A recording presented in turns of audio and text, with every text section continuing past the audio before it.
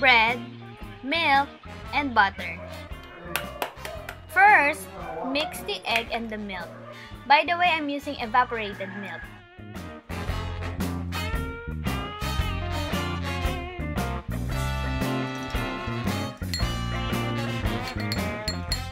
Now it's time to melt the butter. Dip bread in our egg and milk mixture, turning to coat both sides evenly. Now, let's cook our bread slice on medium heat until browned on both sides.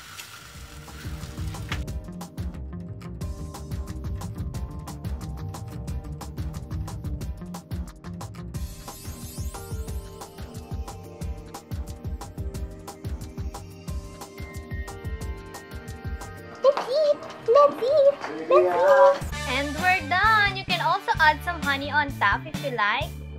Thank you so much guys for watching and I hope you give this a try. Bye!